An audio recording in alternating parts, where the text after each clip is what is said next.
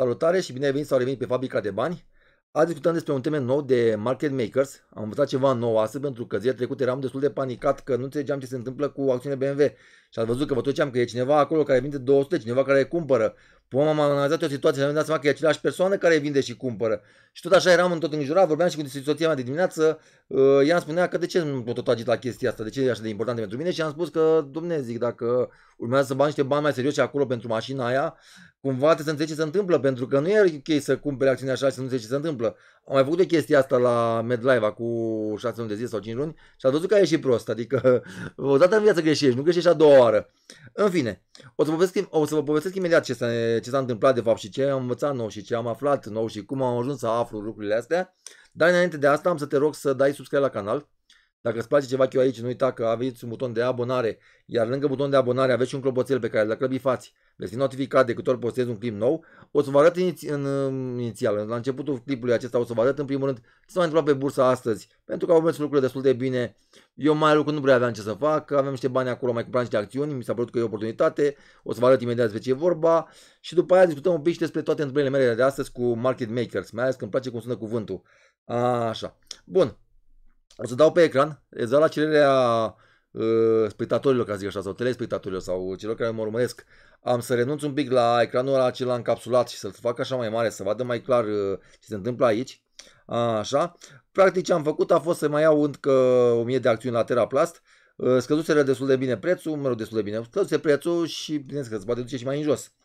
Uh, dar am zis că e o oportunitate de cumpărare și zic hai să mai cumpăr niște prețuri. Vedeți că se și vede pe grafic că era uh, cumva scăzut, uh, nu știu dacă vedeți, nu vedeți și voi, pentru că e sub ascuns, să-l scot și pe mine de, de, pe, de pe ecran. Da, acum vedeți exact ce văd și eu pe ecran, fără să mă mai încurce.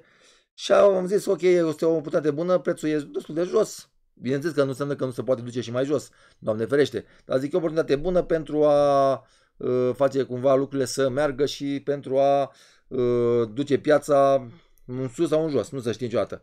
Bun, E, deci mă duc înapoi pe platforma extinsă, pe platforma extinsă, pe Home. Destul de obosit astăzi, n-am avut o zi cea mai grozavă pentru mine astăzi, nu știu de ce. Așa, dar lucrurile pe bursă au mers bine.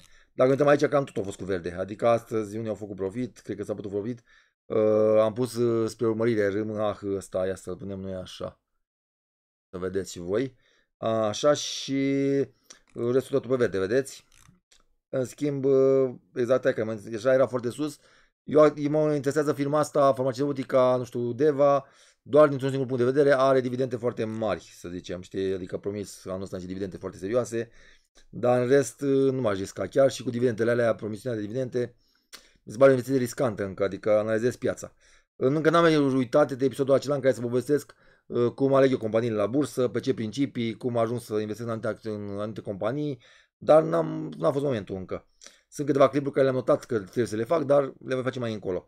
E, deci cam asta s-a întâmplat. Am cumpărat 1000 de acțiuni la Teraplast, în rest s-a întâmplat nimic, lucrurile arată bun mai bine. Dacă ne uităm un pic pe investiții, 1,99% randamentul în momentul de față, nu putea să fie 2%.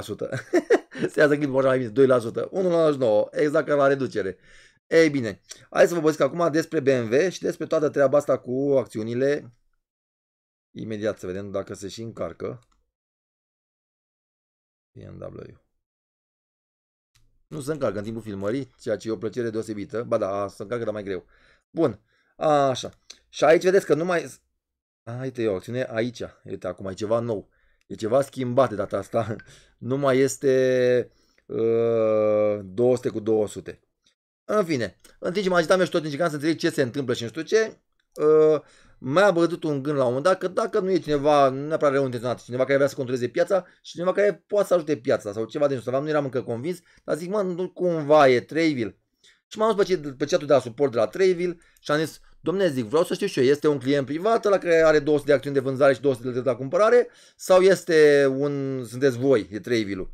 Ăla de la suport, cred că s-a prins că prost, știi? Adică s-a uitat așa la întrebările mele și a zis, bă, ăsta nu știe despre ce vorbește. Și mi-a dat frumos, a zis, uite, lista cu registrul Market Maker, eu pe Bursa de Valori București. Uite, îl fac și pe mai mare, să-l vedeți și cei care au telefon. Da? Mi-a dat lista asta și ce, uite, asta e registrul Market Makerilor. Și m-a închis chat adică zis gata, te-am lămurit prostule. asta a zis el. Eu m-am uitat la asta, bineînțeles că m-am dus primul lucru și am făcut, am căutat aici BMW, BMW, da? Am căutat, n-am găsit, pentru că n-am căutat greșit, n-am căutat bine, o să vă arăt imediat de ce. Am scot un pic imaginea mea ca să vedem mai bine, da? Și am zis, mă, n-am găsit, nu știu ce. M-am întâlnit așa vreo două minute, m-am dus înapoi pe chat. Zic, ori n-am întrebat eu ce trebuie, că sunt prost și nu știu ce să întreb. Știi, am pus o întrebare tâmpită și mi-a dat un răspuns pe măsura întrebării. Ori ceva ce nu înțeleg eu. Așa, și zic, hai să mai întreb o dată, că eu mă așteptam, dacă mai dați răspunsul simplu, suntem noi Tradeville, aș fi bănuit că are o conotație negativă, că încearcă să manipuleze piața, să nu știu ce, știi? Și zic, nu prea știu ce sunt ăștia market makers sau ce. Și am mai dat a doua oară un link în care explica frumos, uitați aici, ce înseamnă market makers, da? Asta a fost foarte interesant. Mi-a dat și link ăsta în care explica ce înseamnă market makers.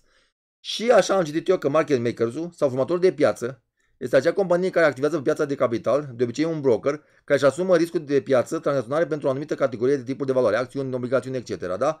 Dacă vreți o definiție, citiți-o, vă las aici pe ecran, puteți dați pauză și citiți tot ce scrie aici.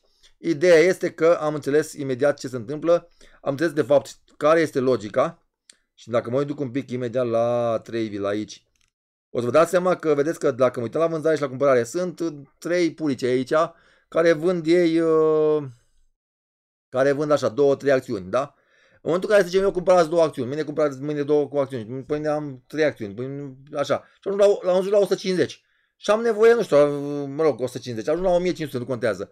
Și vreau să mi le vând, chiar și în pierdere sau chiar și în câștig, ca să cumpăr mașina, că de fapt ăsta e scopul meu în acțiunile astea, știți că m-am mai explicat uh, acum două zile, parcă. E, și atunci cine mi le cumpără? Că cu trei purici, uite, practic pe cumpărare sunt, uh, așa, deci ăștia sunt ei care vor să cumpere, da? Care vor să cumpere. Sunt doi, deci, două, deci 16 acțiuni de fapt. 16 acțiuni, că 200 sunt de la Trayville, 200 sunt de la Market Makers, da? Și sunt decât 6 acțiuni, adică dacă am 20 de acțiuni, nu pot să le vând, că cine cumpăr toată piața și nu mai există, da? Ceva de genul ăsta. Că probabil, acum nu înseamnă că sunt doar 6 acțiuni pe piață. Nu vă gândiți la asta. Pot să fie unii care au cumpărat 1000 de acțiuni și le țin ei acolo în buzunar și nu vor să le vândă.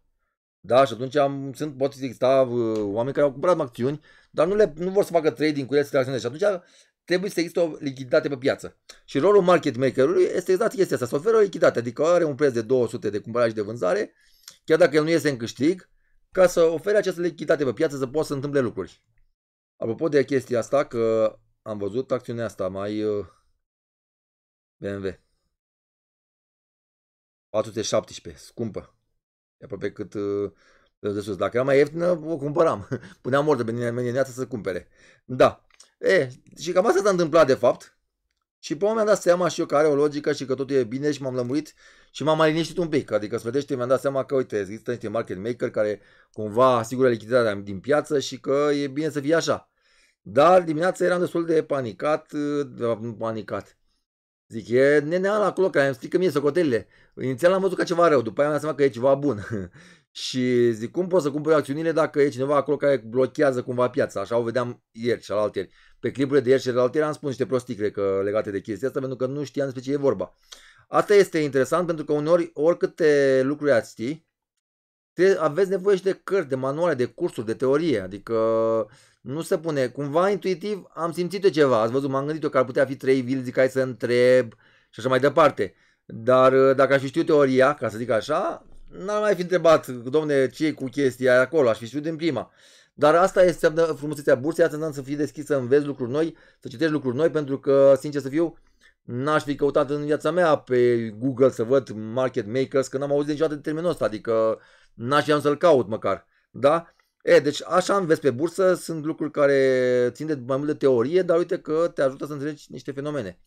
Bun, cam atât pentru, pentru astăzi, nu vreau să fie un episod foarte, foarte lung, pentru că sunt destul de obosit, aș vrea să mai fac niște episoade și pentru un alt canal, dar nu știu dacă reușesc.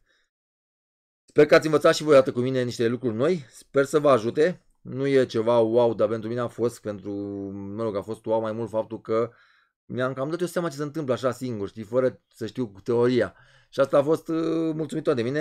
Mi-am dat seama că așa am făcut și cu firma, în primii 10 ani de zile am condus firma fără să știu date statistice, cifre, cifre de afaceri, uh, bugete, nimic. Am condus-o pur și simplu așa, instinctiv. și văd că instinctul ăsta e bun, uneori e bun și la bursă, dar la bursă sunt mai precaut, adică având experiența din trecut cu 10 ani de zile, de, de 18 ani de zile cu firma, încep să nu mai uh, fac așa ca orbu să fac lucruri și încep să mă gândesc, să întreb oamenii din jurul meu ce se întâmplă, ce e cu aia și după aia să iau decizii, da? să le iau mult mai uh, informat. Asta vreau să sfătuiesc pe voi în clipul de astăzi, la final. Luați decizii informații.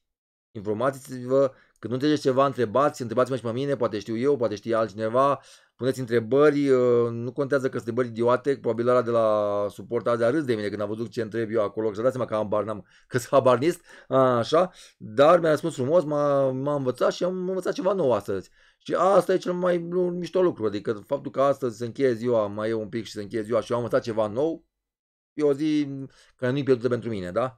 Uh, că până la urmă, dincolo de profit și pierdere și chestiile astea care pe ecran, dacă vi le pun, sunt doar niște cifre, niște numere și atât, într-un Excel în cazul ăsta și într-un, uh, într-o bază de date în cazul ăsta, dar dincolo de astea există oameni, există lucruri care le înveți noi și există experiență, pentru că experiența contează foarte mult în viață. Da? Nu degeaba zic unii că ai școala vieții, adică ai trecut în multe și știi multe și cumva poți să iei deciziile mult mai înțelept.